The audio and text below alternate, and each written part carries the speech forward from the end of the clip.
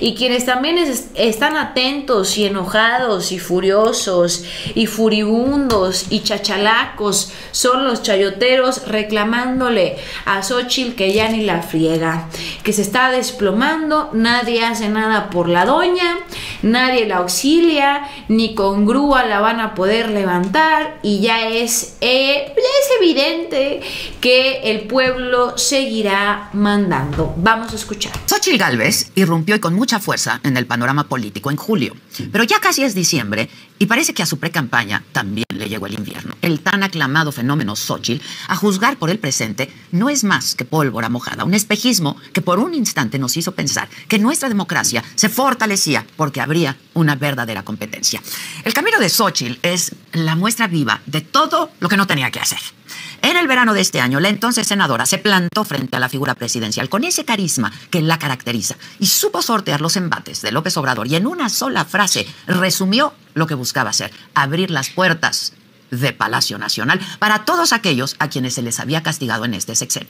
Académicos, activistas, madres buscadoras, mujeres. Con el huipil bien puesto, invitó a la ciudadanía a ir hasta la luna de su mano pero no pasó del despegue. Poco a poco, Xochitl se ha ido apagando. El descobijo de los partidos que la siglaron es evidente, hombre. Ni siquiera en medio de la crisis mediática que tuvo por el tema de su tesis salieron a defenderla los presidentes nacionales del PRI, del PAN y del PRD. Es obvio, ellos estaban más ocupados repartiéndose ahí el pastel, las posiciones en el Congreso. Y así, Xochitl Galvez se viste de azul cuando toca hablar bien de Acción Nacional. Se viste de rojo cuando toca ir con el PRI, aunque se le sale la verdad sobre la dirigencia de Alejandro Moreno.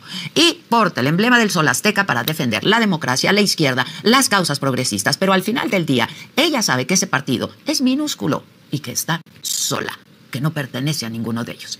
Y Xochitl no ha sabido capitalizar eso de no pertenecer a ninguno de estos tres partidos. Y no ha sabido tampoco cómo amarrar las contradicciones políticas e históricas del PAN, del PRI, del PRD. Se sabe ajena tanto que ni siquiera figura en la toma de decisiones sobre los precandidatos en los estados que van a disputarse en el 2024. Y con la sociedad civil parece, pues, no encontrarse.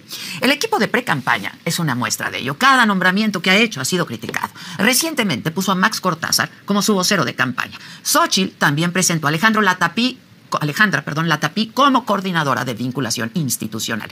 Ella fue consejera del extinto IFE y ha dejado la conducción de su campaña en manos de Santiago Krill. ¿Ustedes lo han visto? Porque no se le ve por ningún lado. Furiosa la Micha porque no va a poder cobrar chayote para el siguiente sexenio tampoco. Pobre rirra a la, a la señora. Y esta fue la que menos recibió, ¿eh? Y le tocaban más de 20 millones ahí nomás para que se den un quemón.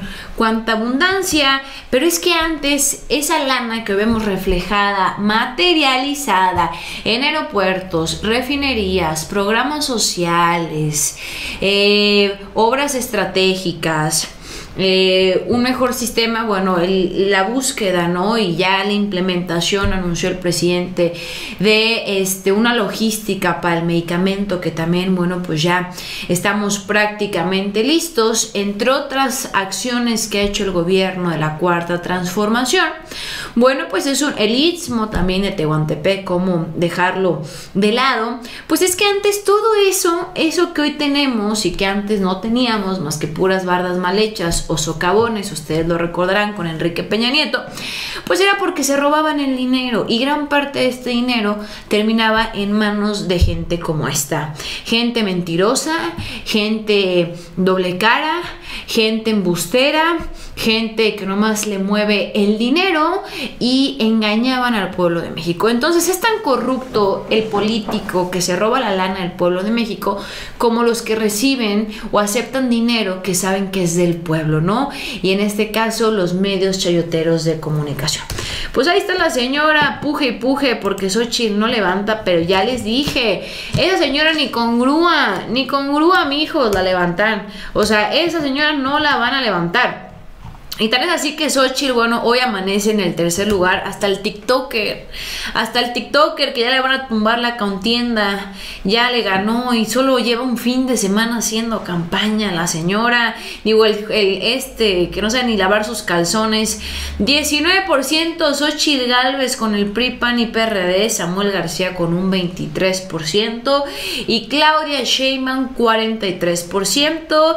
Y aguas, mi Xochitl, porque ese 14%? 90% pareciera ser que es Verastegui y ya le anda ahí pisando el huipil. Ya está para que Verastegui te quite un lugar, ya, ya mejor ya retírate, ya bájate la contienda, o sea, ya, ya, es más, ¿para qué hacemos elecciones? ¿Para qué gastamos en eso? Si ya es más que obvio lo que quiere el pueblo de México, es claro, ya ni para qué andar gastando, pero bueno, ahí están. Y bueno, pues, ¿qué creen?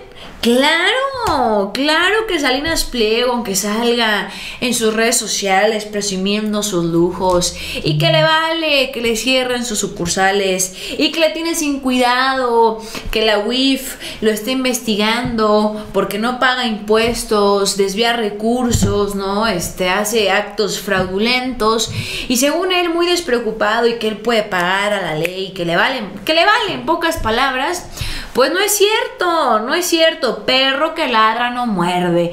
Y desde ahorita se lo digo al señor. Ya salió la Pati Chapoy. Yo le puse jajaja ja, tu tía, la que comparte información fake en el WhatsApp, la tía panista que manda puras mentiras de la cuarta transformación. Pues bueno, ¿qué salió a decir la doña? Dice, si saben que para el 24 ya la mandó, es que es la vocera de Salinas. Si saben, Pati Chismoy, si saben que para el 24 hay puente el 30 31 de mayo y el 2 del 31 de mayo al 2 de junio, es una estrategia para que la clase media se vaya de vacaciones, porque entonces la señora dice que cuando son puentes, la clase no media, este, no tenemos para irnos a, de vacaciones, además inventa que va a haber un puente que no va a haber y fíjense nada más que sectarios son para que la clase media se vaya de vacaciones y no pasen a votar. Hay que hacer hincapié que el 2 de junio no salgan de vacaciones, no haya bodas, 15 años, Andy caramba, ya hasta la señora ya salió este, dictadora, bautizos, tres años, etc. El día de salvar a México, no se vayan de vacaciones. Entonces, en los puentes nomás los riquillos tienen para irse eh, o salir de la ciudad. Fíjense nada más que, qué sectarios son. Y otra, qué puente la señora se, pues yo no sé a cuál puente se refiera, pero de veras, de veras, de veras, de veras que no se cansan de mentir, no se cansan de engañar, no se cansan de querer ver la cara al pueblo. Esa señora que ha hecho de su vida ser este una persona que inventa algo sobre la vida de los demás para ganar rating, hablar mal, maltratar, inventarse chismes, o sea, eso ha sido la señora, una chismosa en su programa, atacando y viviendo de la vida ajena y es el referente de Salinas y de la. O sea, ya se va a ser vocera de Xochitl. No, no, no, ya estuvo que Verastegui ya le ganó, ya le ganó su lugar.